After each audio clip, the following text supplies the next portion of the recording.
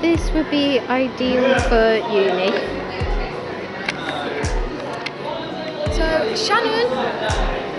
Shannon! Are you enjoying your time? Oh? Oh, yes. Yeah, yeah. Yeah, definitely. What the hell is that? What's that?